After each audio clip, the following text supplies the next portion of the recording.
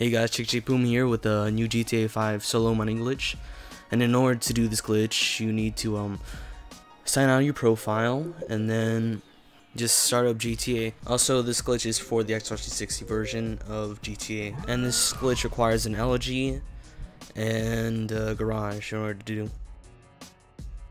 While loading up GTA, you'll get this uh, prompt. And all you have to do is uh, press B to decline. At this point, all you need to do is go to online and it'll prompt you to sign in and sign into the profile that you want to duplicate the money on. And then uh, make sure to select solo session or else this glitch will not work.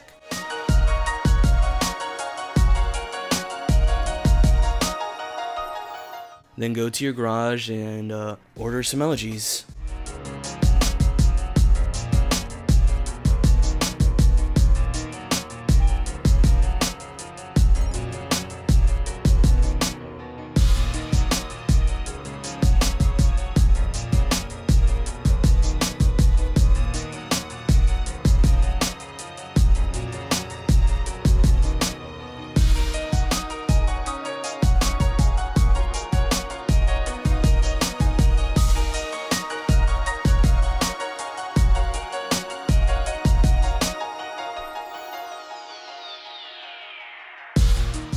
Note that I'm only ordering three elegies because I'm in my garage I want some cars that I just want to keep. You can have up to 10 cars in the garage and you get around 57,000 per each elegy you sell. So it's best to have an empty garage full of elegies that, so you could sell them for max profit out of this glitch. At this point just wait for the elegies to to spawn in your garage and just take them over to Los Santos Customs in order to sell them.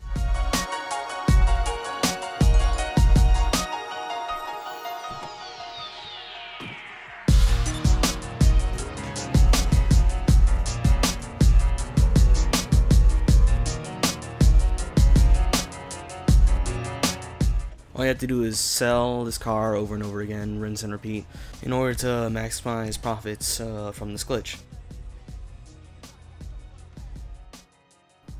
Yeah, and this point uh, I'm just showing you uh, that this glitch does work a second time and you could repeat it over and over again after you filled your car, I mean fill your garage with a bunch of elegies. You can just call your mechanic to get your car over here and um, sell it again. Or just drive down to your garage and pick it up. This glitch is working as of August 2nd, uh, 5 o'clock. Pacific time. So if it's not working for you, just try it again. And feel free to ask questions in the comments below. And thanks for watching.